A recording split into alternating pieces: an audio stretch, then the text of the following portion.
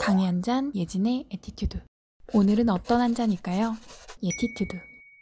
네 번째는요, 질문으로 시작을 해라입니다. 질문도 사실은 꼭 대답을 들을 필요는 없는 질문이어도 상관없습니다. 반드시 정답이 있는 질문이 아니어도 괜찮습니다. 예를 들면 커뮤니케이션 교육을 갈 때 여러분 소통이 잘 되고 계신가요? 그럼 어떤 분들은 네, 어떤 분들은 아니요 할 수 있죠. 근데 이건 정답이 없습니다. 그냥 질문을 하는 거예요. 교육으로 들어가기에 앞서 이 초반에 교육의 주제와 자연스럽게 연관된 질문을 해주시는 것도 좋고요. 폐쇄형 질문을 피해 주시면 좋을 것 같아요. 오늘 점심 드셨어요? 라는 것보다는 오늘 구내식당 반찬은 뭐가 나왔나요? 오랜만에 부산에 왔는데요.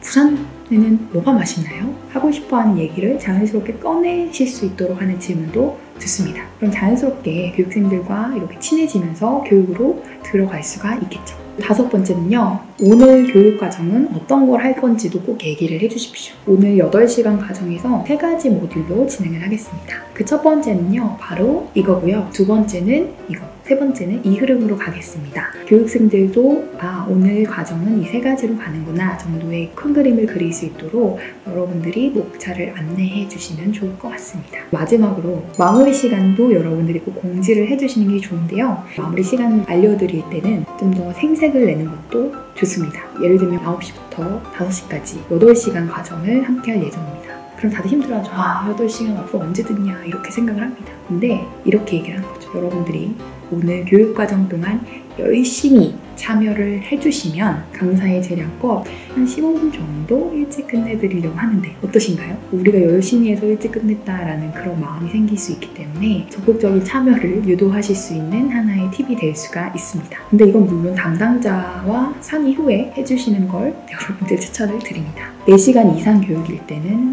항상 이렇게 말씀을 좀 드리는 편입니다. 강의할 때 초반 5분이 관건이다 라는 주제로 말씀을 몇 가지 드렸는데요. 강사분들이 기싸움을 하라는 게 아니고요. 교육생과 강사가 초반에 교류를 얼마나 잘 일으키느냐에 따라서 끝까지 그 분위기를 잘 유지할 수 있다라는 걸 말씀을 드리겠습니다. 안녕.